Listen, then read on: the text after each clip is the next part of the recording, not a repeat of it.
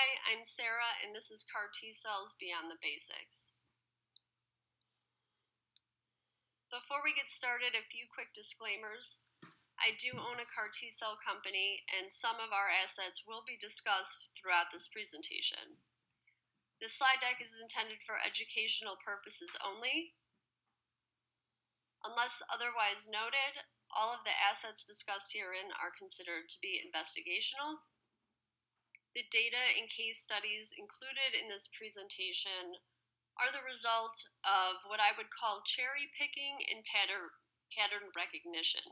That is to say, that they are not the result of a proper meta analysis. Please keep that in mind as we go through this slide deck. Trademarks, trade dress, patents, copyrights, and pending patent applications are the property of their respective owners. Here's a brief outline of the topics that we are going to discuss today. So first we're going to look at some select challenges for solid tumors. We're then going to discuss the translational relevance of animal models and look at some case studies. We're also going to look at some noteworthy CAR designs before getting into the quality realm and looking at some manufacturing process changes. And lastly, before wrapping up, we'll look at some novel, novel business and manufacturing models. So first, let's get into some select challenges for solid tumors. Since many of my peers have spoken quite extensively about the issue of exhaustion, and given the opportunity to redose, I won't be spending too much time talking about exhaustion. So first we'll look at the outline for these select challenges for solid tumors. There's obviously the issue of trafficking homing. It's just inefficient, and this is really important for systemically infused CAR T cells. Remember that in the solid tumors, the contact with tumor antigen may be quite different than the blood cancers. And if you're not doing a direct route of administration, it may be a while before those CAR T cells reach their intended destination, if they reach it at all. There's also the issue of the impenetrable tumor stroma. And that kind of plays directly into the next issue, which is the immunosuppressive tumor microenvironment. And the last challenge that we're briefly going to look at today is the challenge of relapses, which really I, I feel can be anticipated given everything we've learned about CAR T cells from the blood cancers. So first let's look at the inefficient trafficking and homing issue. The first issue, or shall I say major barrier to T-cell trafficking homing, is a mismatch between the cognate chemokine ligand and its receptor. And this is an interaction that's required for efficient T cell trafficking or homing. There's also the downregulation of adhesion molecules like ICAM1, and of course the aberrant vasculature. I will be referencing a lot of different papers throughout this presentation, and I've included the references at the bottom of each slide, so I hope that you will check some of those out. Additionally, in these pink boxes are some key discussion topics that I hope will facilitate some additional conversations after this presentation. This first key discussion topic has to do with the local route of administration and whether that's going to be enough to overcome this trafficking or homing barrier in solid tumor applications specifically. The next issue that we'll briefly be discussing is the impenetrable tumor stroma. The stroma is, of course, composed of the extracellular matrix, stromal cells, which include the fibroblasts, and additional immune cells, including myeloid deprived suppressor cells. In addition to serving as a physical barrier to the trafficking of immune cells, the stroma can also be a source of immunosuppressive signals. Overcoming the tumor stroma, as I said, is definitely a challenge. Tumor cell lysis requires the formation of the immune synapse and secreted cytokines can sensitize the stroma in one of three pathways by which CARs mediate cytotoxicity. Again, references that pertain to this slide can be seen on the bottom of this slide. The tumor microenvironment, of course, poses a challenge to CAR T cells being developed for solid tumor indications. T cells can become dysfunctional within the TME. As you can see, most of the dysfunctional T cell classifications are undesirable and may be the result of a suboptimal T cell population, of persistent overstimulation, or the result of repetitive stimulation. That's perhaps something to keep in mind when thinking about tonic signaling, for example. It's not all bad news, however. One of the dysfunctional T cell classifications is actually desirable. And so I think it's really important to start thinking about how we mold and manipulate the tumor environment to create an environment that is actually beneficial for the adaptive T cells, whether they're CARs, TCRs, or TILs. So next we'll just briefly discuss um, the relapses. Of course, you can have your relapses where you don't lose um, the expression of the tumor-associated antigen that you're targeting. Um, those are the relapses that are due to T cell failure. Um, more commonly, I think, or at least um, we hear more about, are the relapses that are either associated with antigen loss, antigen downregulation, or antigen silencing. And I kind of like to clump all these together in um, the category of relapses due to antigen modulation. Now, there's definitely some um, different approaches to addressing this problem dual targeting and other multi-specific uh, CAR T cells is one way that um, people and entities, including my own company, are exploring in terms of overcoming this challenge. Um, but also on my radar, and I think is definitely worth discussing uh, in depth further after this talk, would be the use of radiation based preconditioning and the role that that type of preconditioning modality might have in mitigating these types of uh, relapses due to antigen modulation. There's a growing body of evidence um, that I think is, is really compelling, and I would encourage everybody to take a look at that. I've included some references in the pink box on this slide, and like I said, I really encourage everybody to take a look at some of those papers. And of particular note for the solid tumor world is the fact that a lot of these later stage patients are already receiving radiation for palliative purposes. So, um, the idea of, of using this preconditioning regimen that would be radiation based is really quite compelling in that the overlap with the palliative care and also you're potentially avoiding some of the toxicities that may be involved with um, your more commonly seen preconditioning regimens, such as your um, cyclophosphamide or fludarabine based preconditioning. So, the next topic that we'll briefly look at is the topic of translational relevance of animal models and sort of I want to discuss more broadly the use of animal models in um, IND or investigational new drug enabling research. And I would like to point out um, first that this is an issue that was completely not even on my radar until I received pre pre IND written feedback from the FDA.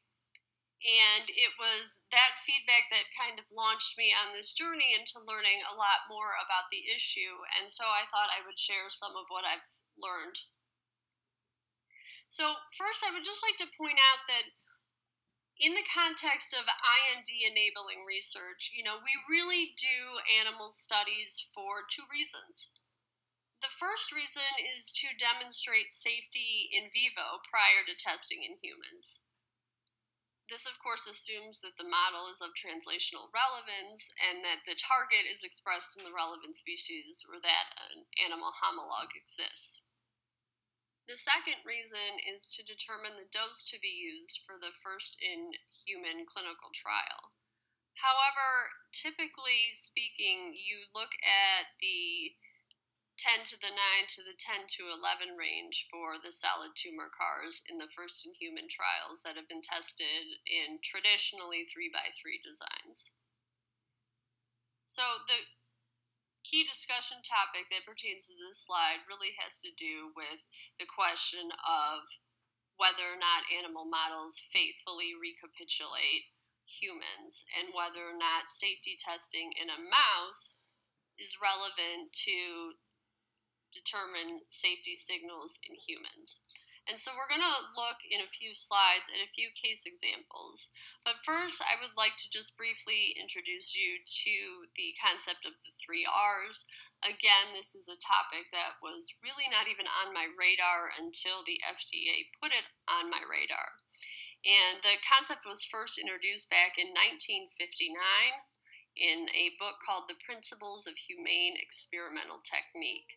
And the first R uh, deals with refinement, so the refinement of in vivo studies in animal models. The second R stands for reduction, so in that case, you're looking to reduce the number of animal models used. And finally, the third R stands for replacement, and this is where you actually replace animal studies with a suitable alternative or alternatives. And I had provided on this slide um, just some examples of each of the three R's, just for your reference. This slide includes some case studies in which fatalities were actually seen in the mice that were tested prior to first in human clinical trials. And I won't go into each one of these in great detail. Um, I did again include the references uh, below. But as you can see on this slide, uh, anti CD19 CAR T cells do appear. And there was this case where lethal toxicities were observed in the murine model. Um, and it was determined that the mouse strain can have a big impact on the toxicity in the murine models. Now, as I'm sure many of you know, all three of the FDA approved CAR T cells target CD19. And although they are generally considered to be safe and efficacious by the FDA, all three do have black box warnings for cytokine release syndrome and neurotoxicity. Uh, we won't be getting into those issues in, in detail in this presentation, but it is just worth noting that those black box warnings do exist. On this slide, we see some case studies in which the toxicities that were observed in human research subjects on clinical trials were not anticipated by the preclinical testing done in animal models. Um, again, I've linked all the applicable references down below. I would like to point out for the anti CEA CAR T cell example that this is an interesting example in that it may highlight the importance of the binding domain selection. In that the first generation CAR T cells that were tested in the UK um, actually ended up being shelved and the trial was terminated due to toxicity, whereas a second generation anti CEA CAR T cell construct um, from which the binding domain comes from a different source, those CAR T cells have been rather successfully tested in um, trials here in the US. And by successfully, I'm talking about the safety profile. So we haven't seen any uh, fatalities, to the best of my knowledge, on those trials with second generation anti CEA CAR T cells, from which um, the binding domain was derived from the humanized MN14 monoclonal antibody. A few final points that I would like to make within the context of the translational relevance of animal models. So, first, and this is actually a really important point, if you are if you are a group that does go to the FDA to seek advice prior to testing in animals, you can propose animal studies. And even if FDA thinks it's completely unethical to be doing this large animal trial or animal study, um, it's not part of their mandate to actually explain that to you. So the, the consequence of that is that there could potentially be a lot of people doing animal testing that really isn't necessary for the purposes of FDA marketing approval, or at least uh, getting your IND through the FDA without a clinical hold.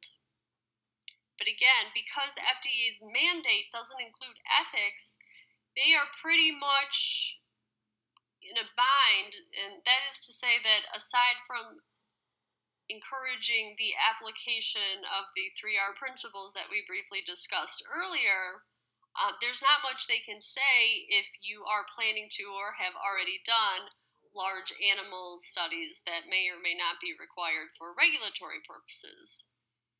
Um, the other and final point that I would like to make here is that it has been my experience thus far that peer reviewers really just are not yet comfortable with seeing applications that deal with innovative uh, approaches that attempt to bypass the use of animal models. And, um, you know, your academic PIs they may have never had a regulatory interaction, and so um, this issue may be one that's just not on their radar. For the NIH R01 awards, which are you know pretty heavily used by academic PIs, um, you know I would argue that animal studies are, are almost expected on those awards think the latest stat that I saw was that 40% of NIH funded R01s include murine models. So, whether or not it's needed for regulatory purposes, there seems to be this expectation that you will use animal models um, at some point in your innovation spectrum. And again, it may not be ethical, but it's not FDA's place to say that it's not ethical, or at least, you know, that's not their mandate.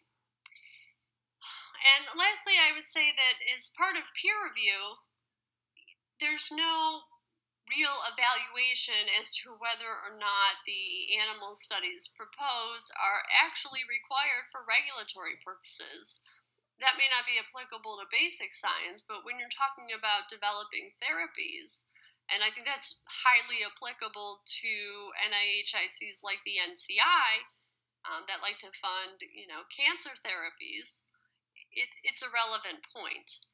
Um, I would like to point out, however, that the FDA is not the only regulator that entities like my own have to deal with. Um, there's, of course, a number of them throughout the world.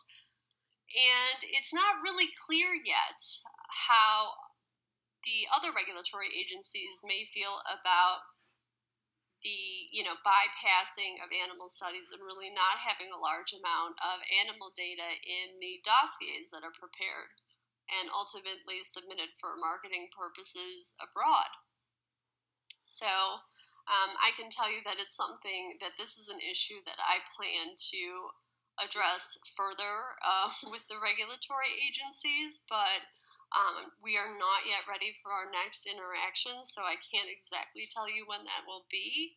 Um, but it is important to say that, you know, just because you can get your IND past the FDA without a clinical hold, without animal models, doesn't necessarily mean that you won't have issues down the road um, resulting from the fact that you have not done safety testing in animals. I would also like to point out, however, that if you're in clinical trials and you're talking to regulators about marketing applications and you have safety data from a phase one trial, you can argue, well, you know, why would I go back and do an animal study to enable a phase one trial that's already been completed? So there are definitely arguments to be made, and in my experience, um, as long as you can really justify what you're doing to the regulators, you're probably okay. But uh, I think this is an important point to note. And the other thing I would like to say here before we jump to the next topic is that uh, I think it's it's not only the regulatory aspects that we have to look at because at least for the academic constructs and for, I think, for many of the early stage companies as well that are looking at investors, bringing on investors, um, I think there's an expectation um, for these animal studies to be done on the part of the the investors as well. So it's not just peer review in in that context. I think you also have the issue showing up in terms of, like I said, um, investors looking for these data as well. So I, I think it's it's an issue that we need to discuss with many stakeholders, and we can't just limit this to you know academia or small businesses like my company. Um, it really is a pervasive one, and I would really like to see the field as a whole really um, prioritize the use of animal models better. So next we're just going to jump into some different car design considerations that I think are worth noting. And again, the case studies that follow are not the result of a proper meta-analysis, um, especially with the, the next slide, and that's slide 17. Um, I would say pattern recognition is more applicable here in terms of the methodology used to identify cars on this slide. Uh, I won't go into each one of these individually. Again, I have provided the references for you on the bottom of the slide. But the question that I would like to ask here is Is targeting the membrane proximal region superior? So that is to say, are cars that target membrane proximal regions superior to cars that target membrane distal regions? I don't know the answer to that offhand, but I feel like we perhaps may be starting to see a bit of a pattern here. So I would definitely encourage you to check out some of the references included on this slide and to let me know what your thoughts are and if you're starting to see a pattern like I feel may be emerging here. The next slide deals with the issue of affinity tuning uh, in the context of CAR T cells. And it may appear as though higher affinity CARs don't really confer um, much of an advantage relative to their lower affinity counterparts. Um, at the very low affinity CARs, you have to ask does the extremely low affinity actually impede cytotoxicity? Um, there's some case studies included on this slide on both low affinity CARs, um, very low affinity CARs, and high affinity CARs. And again, you know, with the low affinity CARs, um, does affinity tuning to lower um, the affinity, does that confer advantages to cars relative to higher affinity cars? You know, I don't know if we have all the answers to this, but I do think, again, that these are some compelling case studies. And if you're interested in looking at affinity tuning as an optimization strategy, I would definitely encourage you to check out some of the references on this slide. This next slide includes case studies of CARs being developed to specifically address the inability of CAR T cells to traffic or home to their solid tumor targets. Uh, again, I won't go into each one of these constructs individually. I would encourage you to read the papers listed on this slide, as there's some really interesting papers in here.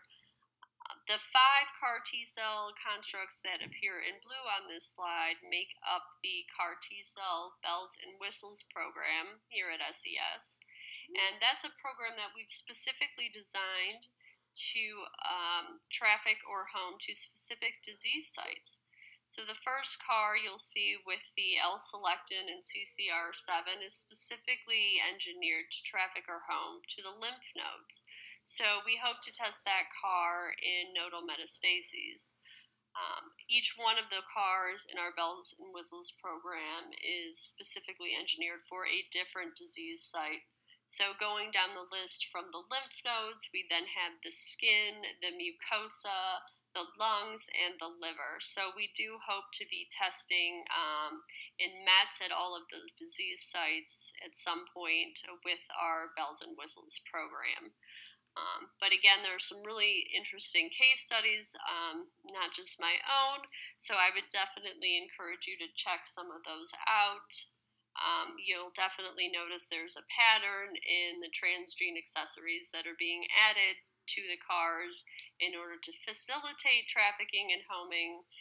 And I definitely think that's a good thing given um, that it is uh, a difficult hurdle to overcome especially for solid tumors.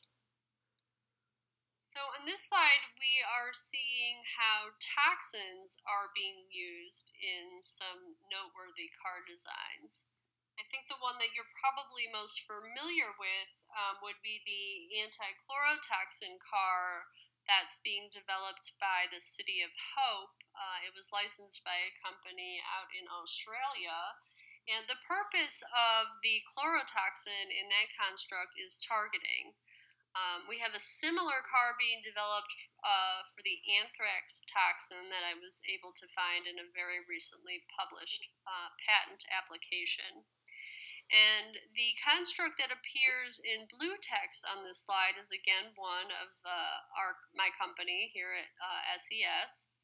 And this car is uh, one of our newest cars. We call this our immunotoxic car.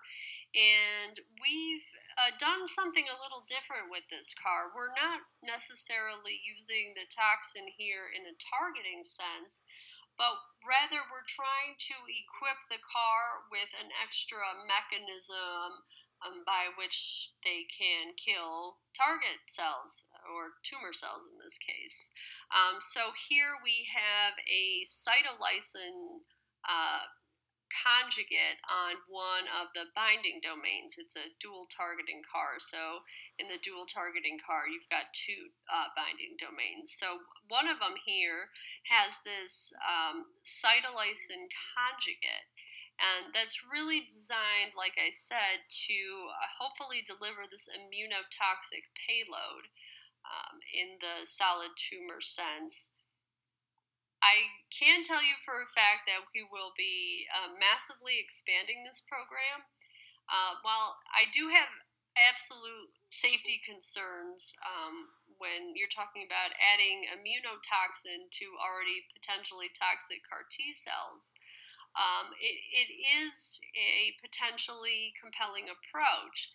And the thing that I find really interesting is that as we swap out different toxins, um, they actually have different mechanisms of action. So if one group of toxins with one mechanism of action um, isn't successful, we can move on to try an immunotoxin with a different mechanism of action. And again, we're just trying to enhance the ability of the CAR T cells to um, kill tumor cells because that's really what we're, we're what we're trying to do here. And um, lastly, on this slide, I just included um, the construct with the PD1 blocking uh, SCFV, and that is a CAR being developed um, by MSKCC and Reinier Brentjens et al. On this, the last slide of topic three, I just thought I would point out a few other cars that are being developed either to deal with the impenetrable tumor stroma or the hostile tumor microenvironment. So here you see your anti-FAP CAR T cells, your IL-12 engineered TILs, your IL-12 armored CAR T cells, um, probably more commonly referred to as trucks.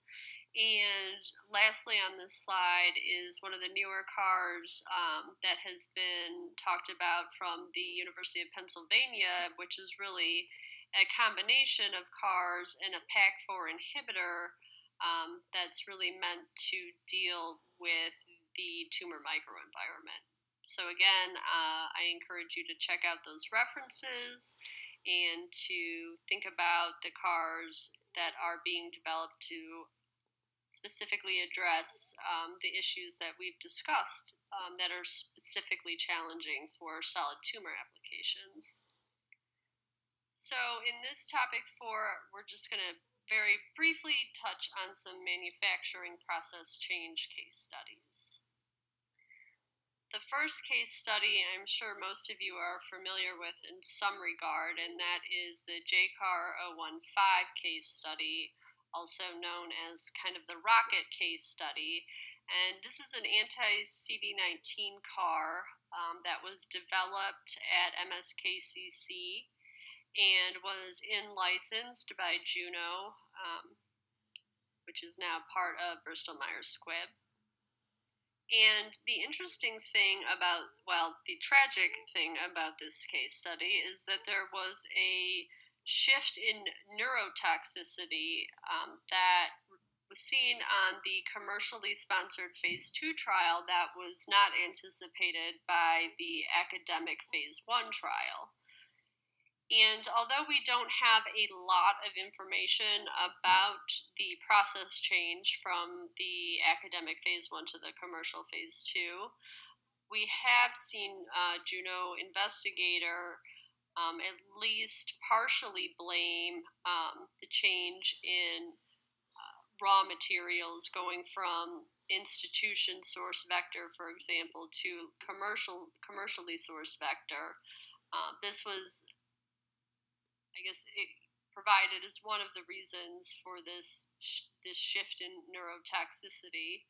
Ultimately, JCAR 015 was shelved. Um, and again, it's really interesting to note this case study when you think about the three FDA approved CAR T cells that, again, all target CD19.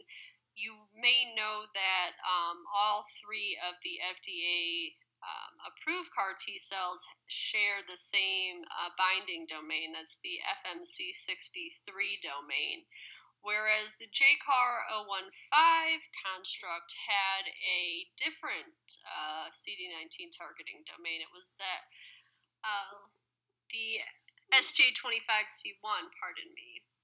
Um, so you have to uh, ask yourself what role did binding, did the binding domain, or perhaps the affinity of the binding domain, play in um, the determination of the fact that the anti CD19 CAR T cells with the SJ25C1 binding domain were not safe um, relative to all of the CARs being developed with the FMC63 binding domain, of which three have been FDA approved already, and another one, uh, liso-cel or JCAR 017, is probably likely to be approved um, early in 2021.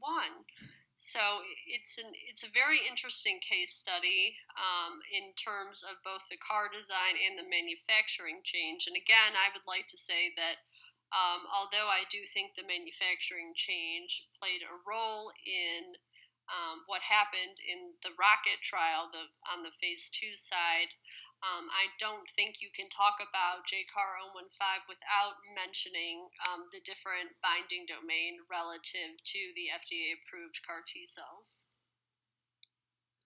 Um, this next slide is a case study from Seattle Children's, and uh, I don't know a ton about this case study, but what I can tell you is that uh, they had attempted to switch bead manufacturers, um, I think likely to, to use the beads that um, work with the Prodigy system. And unfortunately, they did not have a good uh, conversion to the new beads and ended up reverting back to the beads that they had used in the first version of their uh, manufacturing protocol. So, this is a really interesting case study in that um, the process change ultimately failed and they ended up reverting back to the original manufacturer. Now, for those of you who are on the commercial side of CAR T cells, or at least aspire to be, you know that FDA really encourages us to have multiple sources for our, you know, raw and ancillary uh, materials. And as you start to look at these case studies, you have to ask yourself, am I going to be able to find comparable, um, you know, secondary materials? I'm not so sure. Had you asked me before I saw these case studies, I really don't think I would have told you that this was going to be a big issue. I didn't think that switching beads would be consequential, but it turns out apparently it can be very consequential. And I think the other important point to make about these process changes are that these are process changes that are happening during the clinical phase of the innovation spectrum. And when you're making process changes during the clinical phase, it's pretty risky. So, if you're looking to really mitigate these risks, I would argue that you need to have your manufacturing locked in before you start your first in human trial. And that requires a lot more work up front and quite frankly a lot more funding up front. Um, but I think you gotta you gotta spend more up front to ultimately de-risk. And I think that this is one compelling case study in that regard. Uh, this next case study is from the NCI, and this is another upstream manu- upstream manufacturing change. Here they tried to change from CD3 CD28 based enrichment to the CD4 CD8 selection um, in order to use the Prodigy devices. And what happened in this case study, and again, I would defer you to the paper that's been published as well as the YouTube videos that should be hyperlinked below um, they ended up having to de escalate the dose back down to um, what was considered to be um, the first dose level from the original manufacturing protocol. So that would be the one with the CD3 and the CD28 enrichment. So again, here you are seeing um, clinical consequence of a process change made during the clinical phase of the innovation spectrum. And this is pretty common because you're typically seeing the tech transfer happen sometime during the course of early phase clinical trials. So it's not uncommon to see an academic phase one followed up by a commercial phase two. And many times, the commercial phase two is going to have slightly different manufacturing or raw and ancillary materials than you had on that phase one. And that introduces risk. And it, you know, it can be riskier than I would have told you, that I would have guessed it had you asked me a year or two ago. Um, so I just would like to point out that, again, I would argue that a best practice would be to not uh, make major manufacturing changes between a phase one and phase two, even if you don't need to be locked in until phase two or your BLA, because it's just very risky and there there are consequences. Is the bottom line. So this last uh, case study that I would like to point out is one that I know even less about than the other three, and this one is one that was just very recently disclosed at ASH, and I just happened to catch a tweet on it. Um, so, what I will say is they did say that they changed the manufacturing from the escalation and expansion cohorts, the first part, to the um, expansion cohort, which was, you know, the, the second version of their manufacturing protocol.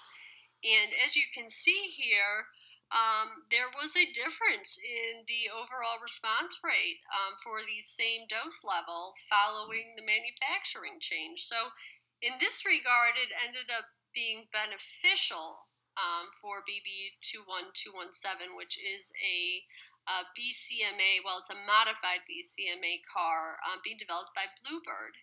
And although it worked out well for them, you know, again, I would argue that the earlier you optimize and are locked into your manufacturing, the better.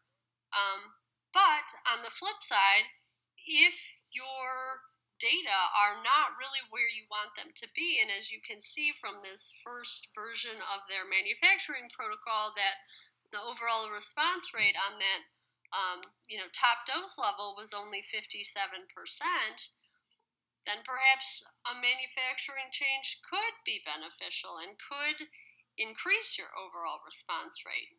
But again, you know, I would I would caution this um, just anytime you're making a manufacturing process change during clinical trials, it can go either way. So, the last topic we're going to discuss um, are just some novel business and manufacturing models. So, first, I would just kind of like to briefly touch on the manufacturing models.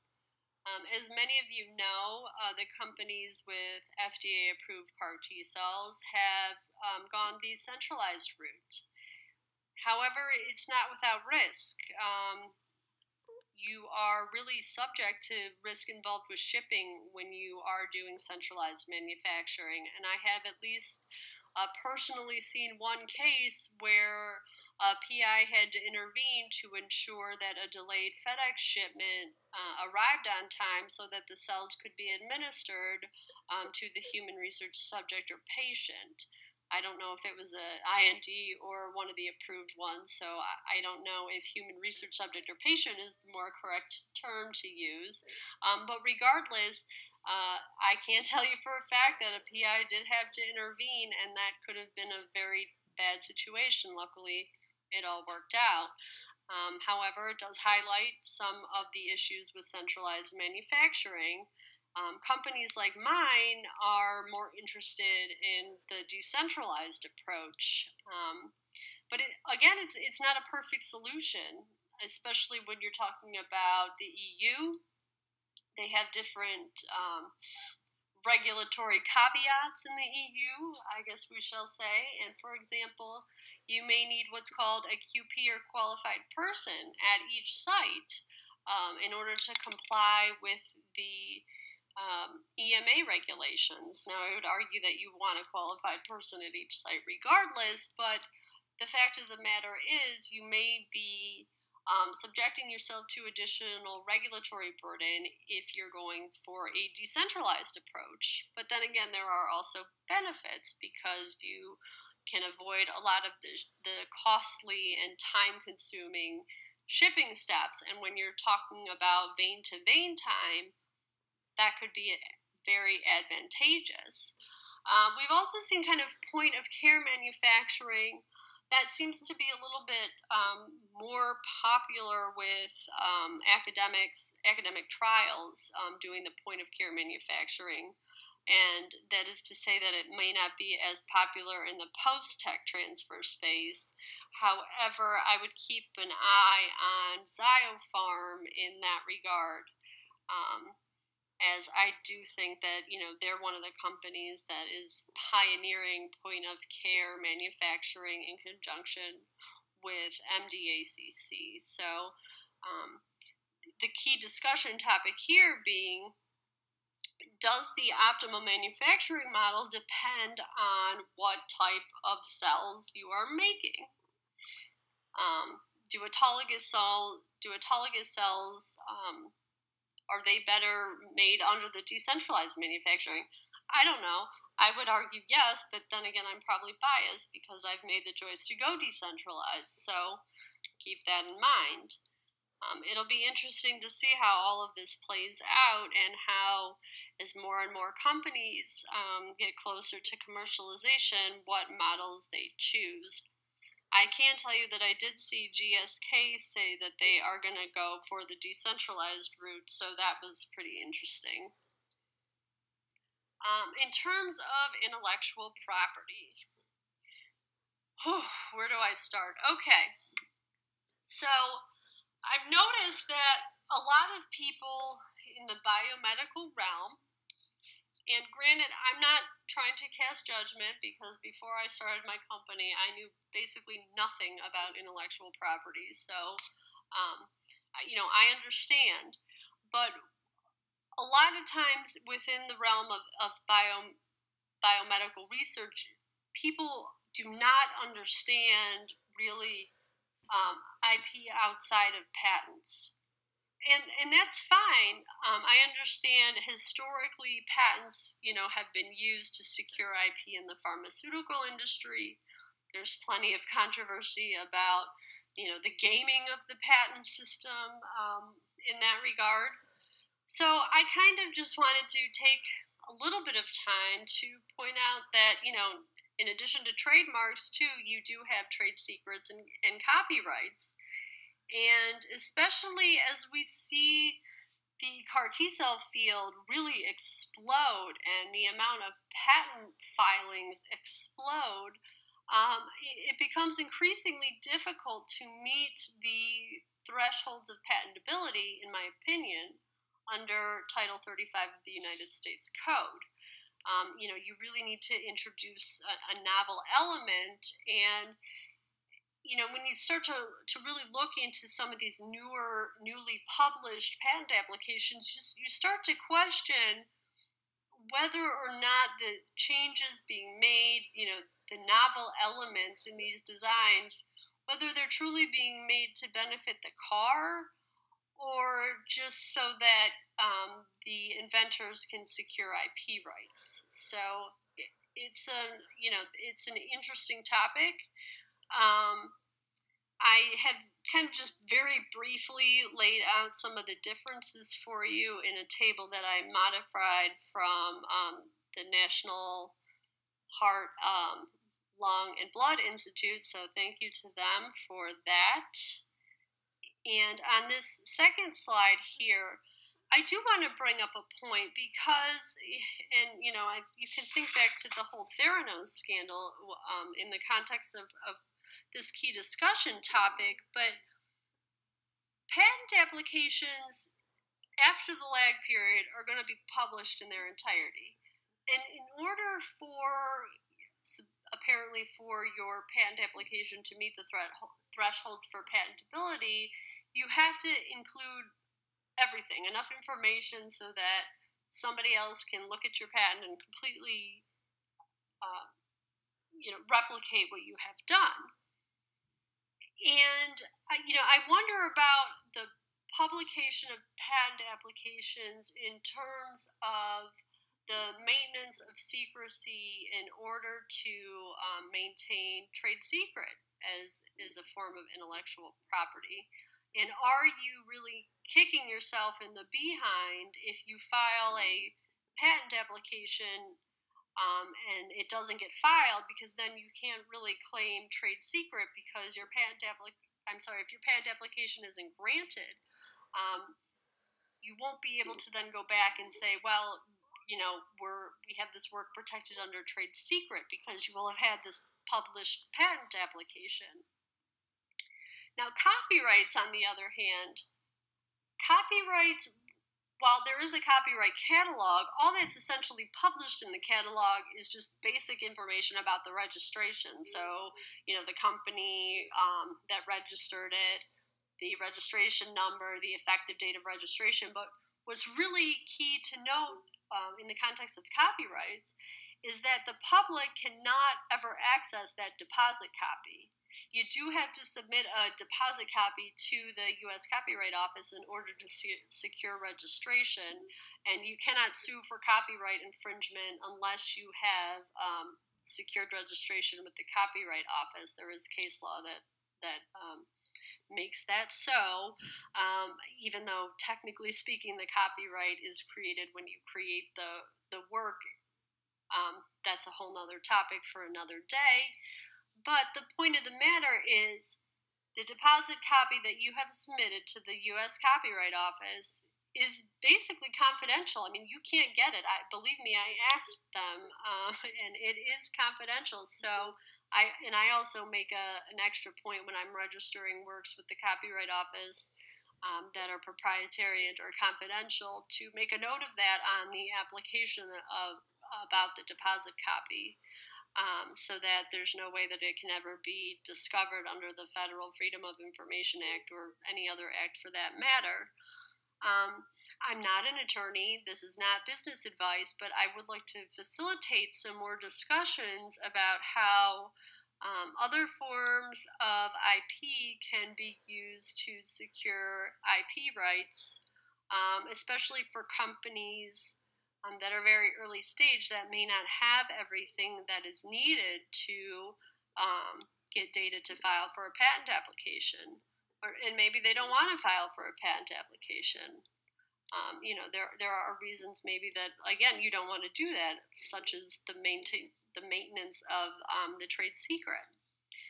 So I just wanted to point all that out. I would like everyone to kind of think a little bit more in depth about that, and I would really love to have a discussion about um, the different forms of IP and how um, you know claiming one form can potentially impede upon your ability to claim another form, etc. Okay, well, we're just about done, and the last thing that I really want to touch upon, and anybody who knows me is going to say, Sara, you are a broken record, and guilty as charged, um, but we need to talk about affordability. So, um, you know, the, the current price tags of the FDA approved CAR T cells are, you know, to put it bluntly, astronomical. And, you know, it was really these these prices were really negotiated based on the thinking that it, they were going to be single dose treatments. And we know that they are not single dose treatments, but yet the pricing has not ever been adjusted to reflect the fact that they're really not single dose treatments. And that's not to say that we don't want everyone to have a response like Emily Whitehead. Of course, that's that's the goal. Um, but especially in, in the solid tumor world, we're not there yet. So I think we need to think incrementally about how we get there. And I know most of us now that are developing CAR T cells in the solid tumor world are planning on multiple doses from the get go. Um, but we have to think about what strain we are going to put on the healthcare system for my generation and for the subsequent generations when these CAR T cells cost, you know, the equivalent of a mortgage.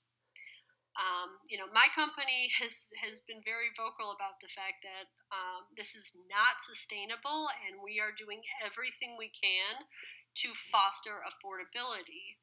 My concern, in terms of some of our competitors, is that they are doing a lot to bring their cost of goods down, and then won't necessarily um, you know, pass those savings along to the payer or the consumer. So, um, you know, I, I, I, put my company on the slide. I've also put this um, new company that we're seeing out of India that, that has um, at least publicly claimed that affordability is a central tenet of their business, and I certainly hope that's that's correct. Um, but again, you know, we were just talking about IP, and there's obviously IP issues that factor into um, you know, who can operate in the CAR T cell world without infringing and etc. Um, but to my competitors, please, we need to focus on affordability. It's up to us. And if we do not do something, this is going to place an enormous strain on my generation and those to come. And while I have your attention, I have to make that point. Thank you. We've reached the conclusion, so in closing, I would just like to make the following points. The challenges for CAR T cells being developed for solid tumors require unique multi pronged approaches. The heavy reliance on animal models of questionable translational relevance remains. CAR designs are evolving to address one or more of the specific challenges covered herein. CMC process changes may not be inconsequential. And there are novel business and manufacturing models that are emerging and may ultimately help facilitate affordability. Thank you so much for your time and consideration. All of my